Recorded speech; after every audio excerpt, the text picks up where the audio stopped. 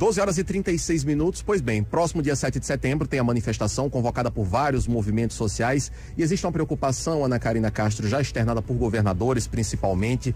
O governador de São Paulo, João Dória, inclusive deu entrevista essa semana aqui a 98 FM, falou sobre essa preocupação da presença de agentes de segurança pública na manifestação do próximo dia 7 de setembro. O governador chegou a falar, abre aspas, em infiltração de movimentos bolsonaristas dentro das polícias militares.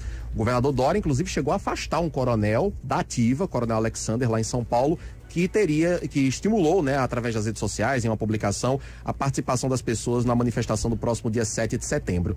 Hoje pela manhã, o jornal Folha de São Paulo publicou uma entrevista, Ana, com um coronel da reserva lá da Polícia Militar de São Paulo, o coronel Alberto Sardilli, ele que inclusive foi comandante do batalhão Rota de São Paulo, no qual ele fala sobre a presença de policiais militares, de agentes de segurança pública nessa manifestação do próximo dia 7. E o coronel chegou a dizer, Ana Karina, que um eventual intervenção pela democracia não é golpe, viu? Exatamente, Tiago Rebolo. Mas a gente vai ouvir né, a declaração agora do próprio Coronel Alberto Sardelli, que conversa com a gente agora ao vivo, aqui no 12 em ponto 98. Vamos saber dele como é que tá o clima aí é, para o, a manifestação do 7 de setembro, se realmente vai haver a participação de militares nessa manifestação. Ele que defende sim, o militar ele não é um cidadão de segunda classe, né? Ele enquanto é, pessoa é, a paisana, sem estar fardado, ele pode sim expressar aí as suas, os seus posicionamentos é, a favor ou contra, enfim. Então vamos conversar ao vivo agora vamos com lá. o Coronel. Boa tarde, Coronel Sardilli. Seja bem-vindo a 12 em Ponto, tudo bem? Boa tarde a toda a população potiguar, população pernambucana que escuta a rádio que hoje a gente, com muito prazer, pode falar. Perfeito, é isso mesmo, 98 FM que alcança. Alô? Perfeito, Coronel Sardilli. Estamos ouvindo bem o senhor.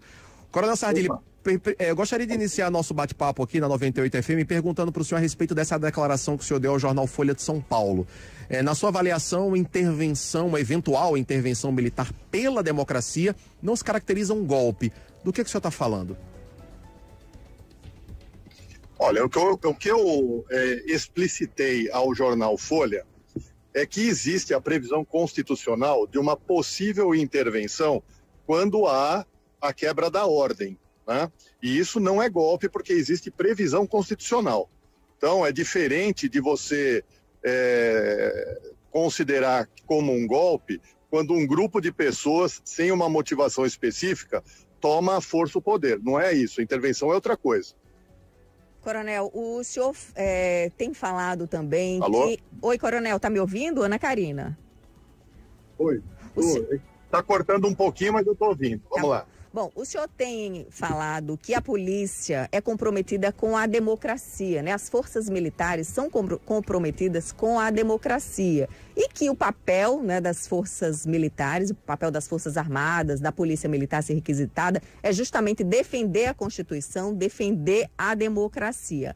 Agora, como é que fica a participação né, de militares no próximo dia 7 de setembro, manifestações que estão sendo convocadas aí em apoio à democracia, em apoio, muitas vezes, ao governo do presidente Jair Bolsonaro? Olha, o dia 7 de setembro é a, de, a data máxima do país, em termos cívicos. É o dia da independência. Então, não tem nada de errado as pessoas irem para a Avenida Paulista, uma vez que nós vamos ter manifestações pró-democracia. Agora, o que eu estou vendo é um pouco de distorção das coisas, querendo distorcer que todo o movimento que está indo para a Paulista é pró-Bolsonaro. A gente está pró-Brasil. Tá?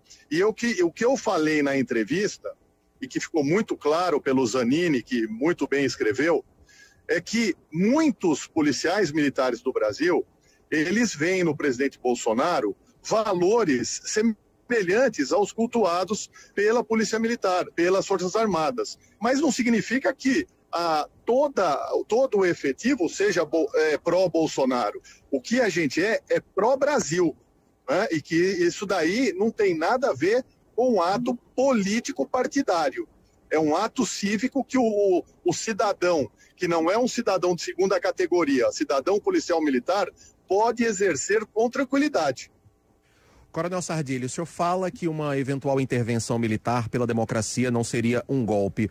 O senhor enxerga que hoje a democracia brasileira está ameaçada ao ponto de haver a necessidade de uma intervenção? E dois, o senhor acha que existe o risco hoje no Brasil de haver exatamente essa intervenção? E se sim, quem faria? As polícias militares, as forças armadas? Olha, eu, sinceramente, eu vejo muito debate a respeito disso, mas esse é, é um pote de leite, é uma leiteira que para derrubar ainda tem muito chão. Eu não vejo ainda com proximidade essa questão. O que, o que me preocupa é, é a questão de envolvimento de outros poderes é, em outros poderes. Então, o legislativo tem que legislar, o executivo tem que trabalhar em prol do povo e o judiciário fazer seus julgamentos.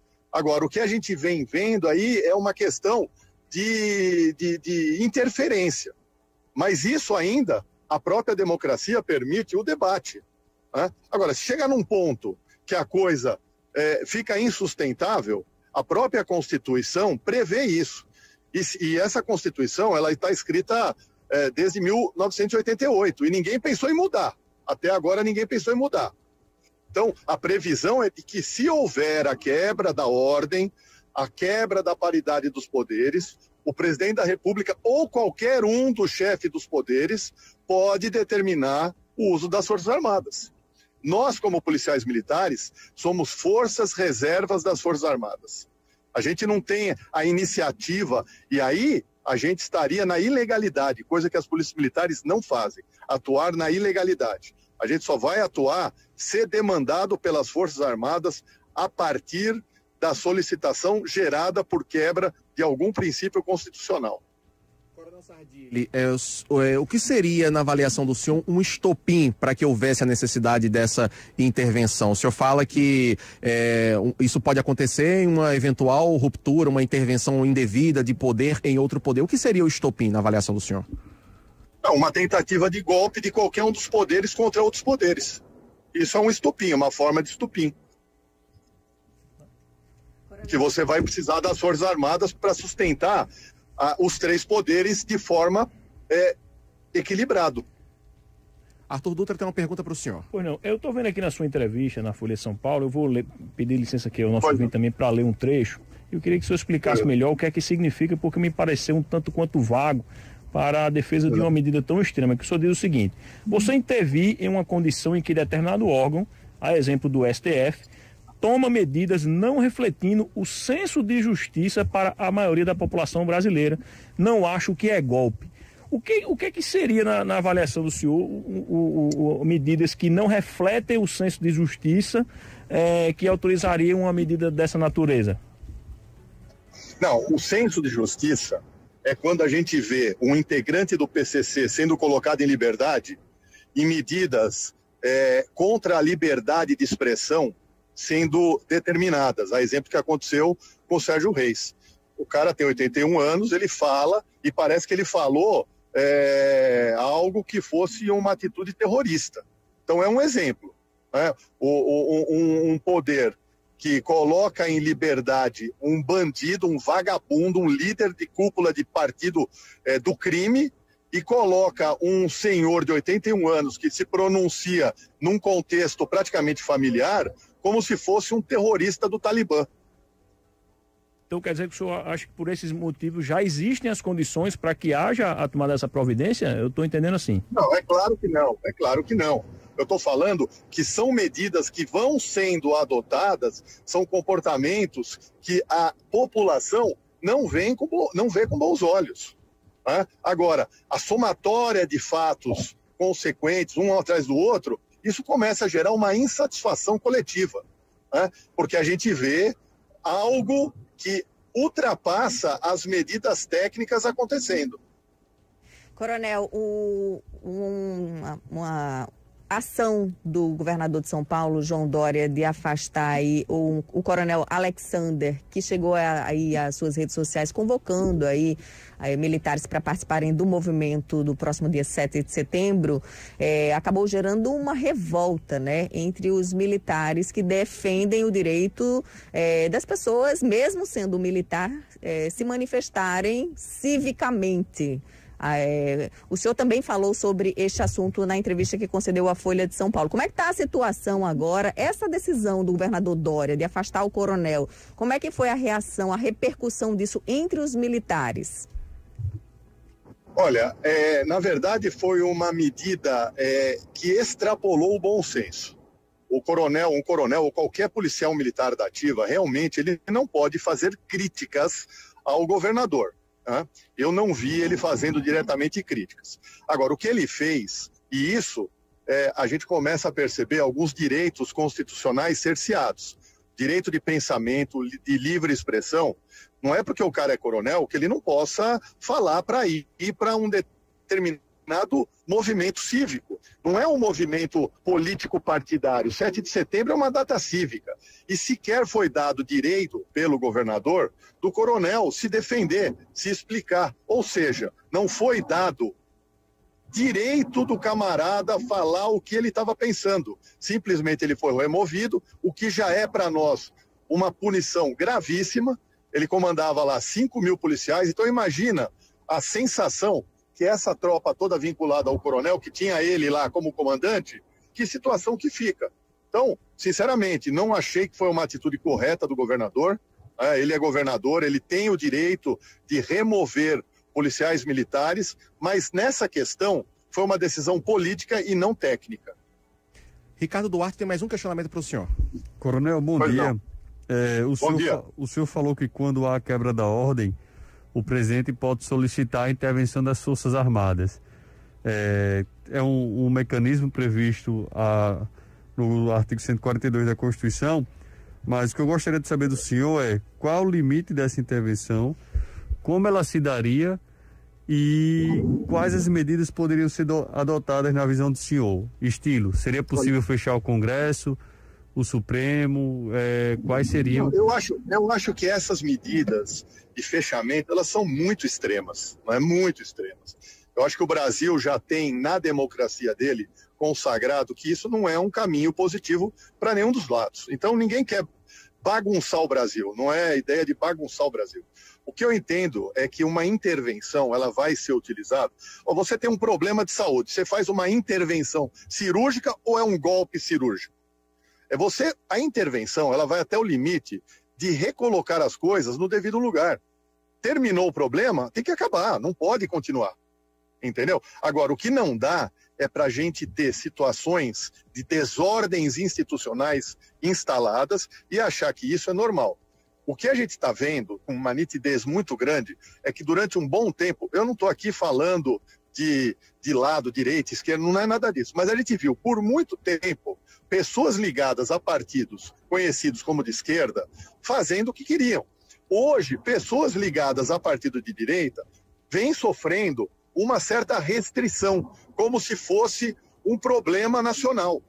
Agora, se a gente está numa democracia plena, qual o problema de ambos lados, ambos os lados se posicionarem com as suas ideias? Nenhum. Agora, que esse seu pensamento reflete Pode Caiu? Posso continuar? Coronel, o senhor... Pessoas de bem, a indústria automobilística vinculado ao partido. Alô, alô? Oi, tô lhe ouvindo. Alô? Oi, coronel, pronto. Oi. Teve uma pequena... Trabalhadores ligados à, à, à, à indústria automobilística ligados a partidos de esquerda. Hoje a gente tem é, parte dos militares que vem com bons olhos os partidos de direita. É democracia. Cada um tem direito a pensar da forma que quer. Agora, a gente vê uma grande preocupação da esquerda com o crescimento da direita.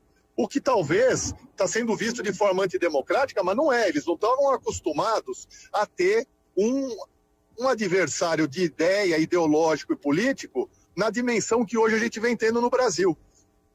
O senhor acredita que esse seu pensamento, ele reflete a maioria né, da opinião dos militares hoje no Brasil?